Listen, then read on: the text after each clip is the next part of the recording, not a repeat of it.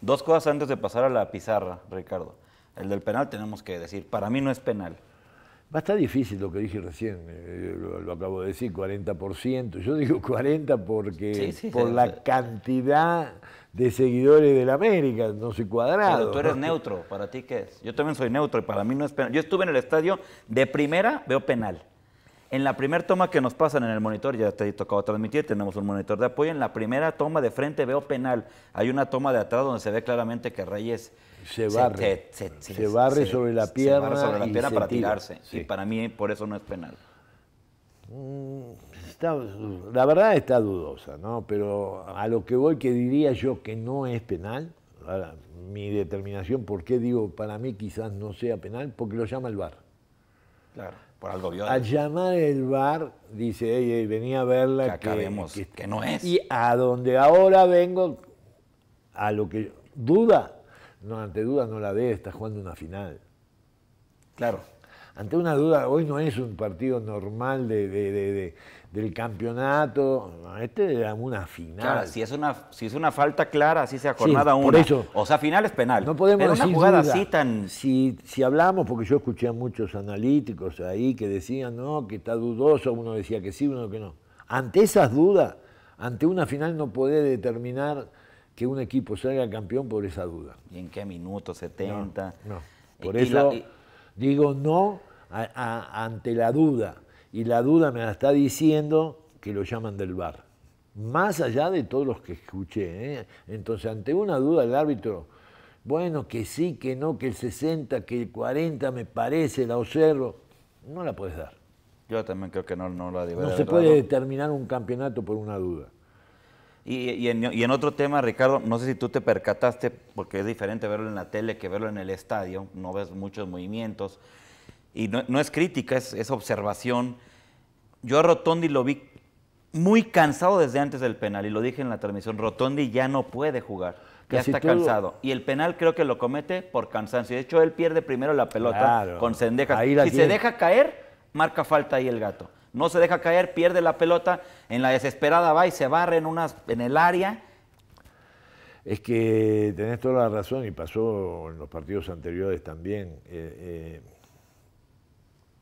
vuelvo a repetirte que todos hablan bien, eh, entonces es muy difícil alguna vez criticar.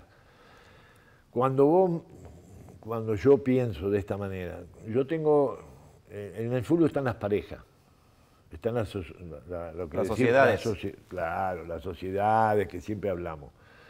Cuando vos, el de la línea de 5, que es Rotondi, tienen que hacer 70 metros. No, no. Y en el Azteca, que, que tiene las medidas No, más no, y- grandes. y, y del- y- y de lo que viene de los partidos. aparte, Por eso sí. en, en casi todos los partidos lo sacó. Claro.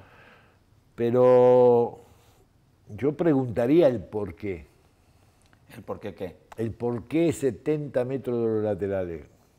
Generalmente el sistema, ah, por lo que yo vi, los sistemas, por ejemplo, vos cuando jugás en el 4-2-3-1, vos no tenés 70 metros de esto porque acá está Quiñón y acá está Sendeja. Bueno, vos podés ir, en otras va el, otro lateral, no es sistemático, ¿me entendés? No, acá es todo el partido Acá y es vuelta. una cuestión sistemática de Huesca y de él. Entonces, bueno, la lógica, como bien decís vos, bueno, ahí lo determina el técnico o el propio jugador que haga cambio y entra el Mira, una de las situaciones es- es también, cuando- eh, pero que- muchas veces ya había entrado ese cándido. Ya lo había pasado.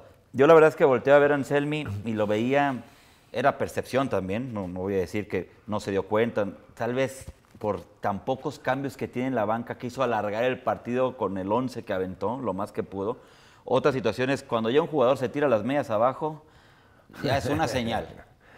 Ya es una señal. No, eso es muy importante lo que está diciendo para que la gente sepa que cuando ya empiezan a hacer así, Ya, que- media abajo es. sí, hay veces que ya se quieren sacar las Sí, las- canilleras, las- sí, y ya Rotondi ya las traía abajo, ya.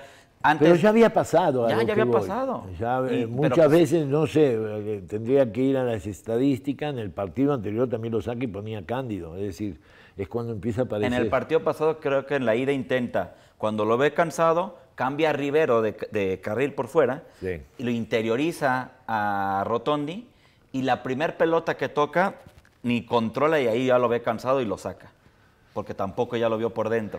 No es lógico, es lógico, vuelvo a repetirte, los sistemas alguna vez es eh, por, no sé, el funcionamiento que tiene, pero si es tanto, por ejemplo yo, eh, guardado en algún momento acá jugaba como un lateral, en, el caso de Atlas.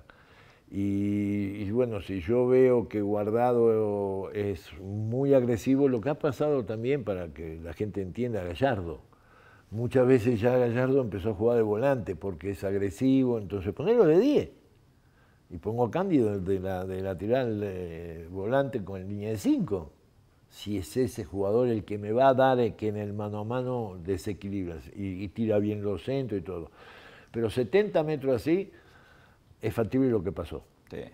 Lo que pasa que, por ejemplo, me pasó eso en Jaguares, con, con Pérez, ¿cómo se llamaba de nombre? El que venía de. El pibete lo tuve yo en Monterrey. Eh, ah, no, ya, ya recuerdo con quién. El, por fuera. Claro. Chaparrito. Que claro, me pasaba y yo ya tenía los minutos 60 o 70, tenía el, cambio porque eh, eh, entraba un pibe Andrade, que ya lo habíamos trabajado, y sabía que se me iba a fundir, porque el 10 tampoco me estiraba, el caso de, de Armentero. No, no le daba. Era muy Entonces ya venía, tenía muy buen pie, pero ya no me hacía la función como un guardado, como, como yo tenía en otros equipos, ¿sí me entendés? Entonces te tenés que adaptar y es la pasada del lateral. Se te funde. 70 metros, no, hay, no hay jugador más allá que físicamente esté, te pueda aguantar.